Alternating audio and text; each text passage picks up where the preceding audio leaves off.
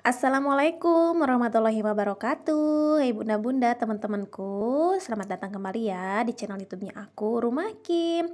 Nah hari ini aku mau share kegiatan harian aku lagi. Nah teman-teman di tempat aku sekarang tuh lagi mus masih musim hujan ya.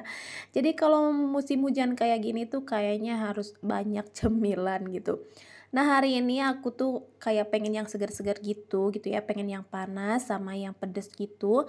Jadi aku hari ini mau bikin seblak gitu teman-teman. Kebetulan anak aku juga minta dibikinin seblak. Ya udah deh sekalian aja gitu ya Nah ini aku siapin dulu bahan-bahannya.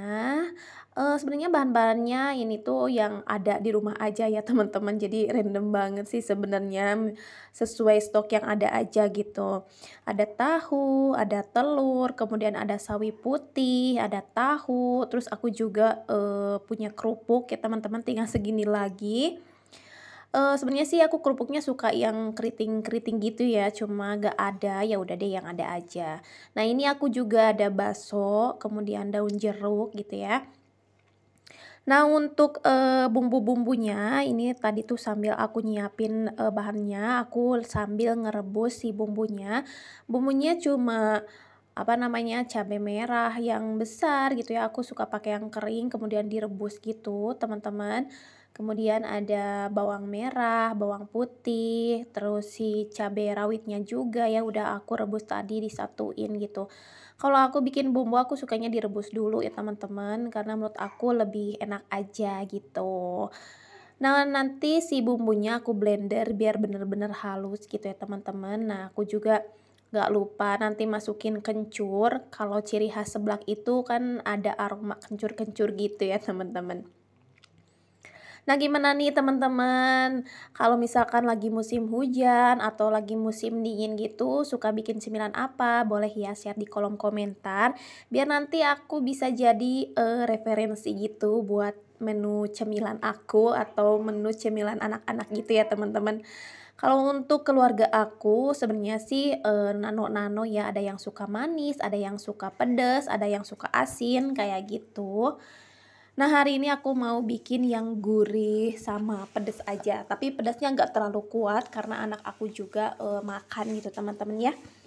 Jadi ini nanti tuh warnanya merah cantik tapi gak terlalu pedas gitu loh. Nanti kalau misalkan aku pengen lebih pedas, biasanya aku tambahin uh, si cabai rawitnya itu terpisah ya, terakhir gitu aku tambahin. Tapi cool untuk kali ini, ini tuh nggak pedas menurut aku, jadi biasa aja gitu loh. Nah gimana nih teman-teman bunda-bunda lagi pada ngapain hari ini?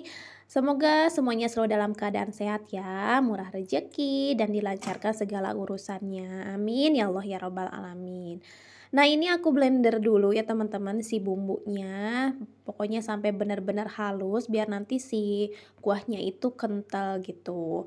Nah ini bumbunya udah halus ya teman-teman. Langsung aja deh aku cepetin untuk uh, proses masaknya. Jadi si bumbunya tuh aku tumis gitu teman-teman sampai benar-benar harum.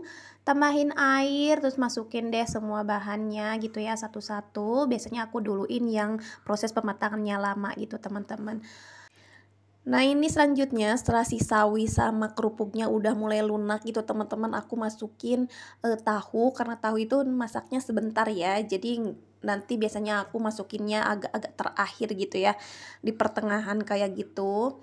Nah ini setelah si tahunya masuk aku juga uh, ada masukin baso. Kalau aku baso itu lebih suka masih kenyal-kenyal gitu ya jadi gak terlalu mateng. Jadi aku masukinnya pas setelah tahu gitu teman-teman Nah ini sebenarnya bukan bakso ikan ya teman-teman, ini tuh bakso sapi yang di mix pakai bakso ayam katanya. Itu ada di food prep aku yang kemarin-kemarin itu bisa teman-teman cek ya untuk harganya. Nah ini udah jadi nih teman-teman untuk bumbunya aku tambahin uh, kayak kaldu bubuk, kemudian garam, terus aku juga uh, masukin gula sedikit biar ada manis-manisnya gitu ya. Karena aku lebih suka tuh kayak manis pedes gitu teman-teman kalau bikin seblak. Nah udah deh udah masuk si bumbu-bumbunya jadi tinggal diaduk-aduk aja deh sampai benar-benar si kuahnya itu agak susut gitu ya. Oh iya aku juga tambahin bumbu atom ya teman-teman. Kalau di tempat aku ini namanya bumbu atom.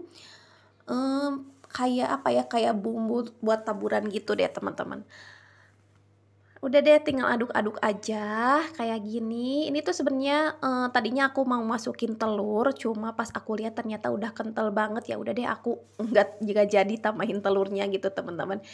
Jadi ini tuh tanpa telur gitu. Biasanya kalau tambah telur dia tuh lebih kental gitu si apa namanya si kuahnya Nah ini aku cek rasa dulu ya teman-teman. Dan ternyata uh, kurang apa ya kurang gurih sedikit gitu. Jadi aku tambahin si bumbu atomnya gitu.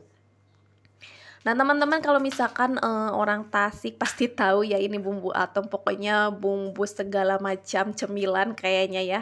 Lebih sedap pakai bumbu atom kayak gini. Nah ini deh alhamdulillah udah jadi seblaknya gitu deh ya teman-teman untuk cemilan aku di saat musim hujan. Sebenarnya ini tuh video kapan hari aku bikin cuma baru baru sempet aku edit hari ini gitu teman-teman ya. Oke deh teman-teman ini udah beres aku udah matiin kompornya jadi tinggal aku salin aja ke piring gitu ya.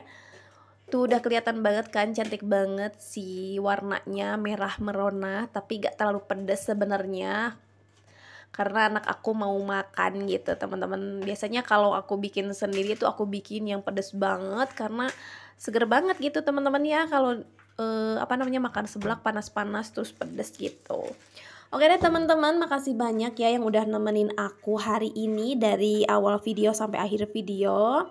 Ini aku mau lanjut makan aja. Terima kasih yang udah Subscribe channel aku dan bagi yang belum subscribe ya biar aku makin semangat lagi untuk upload video-video lainnya.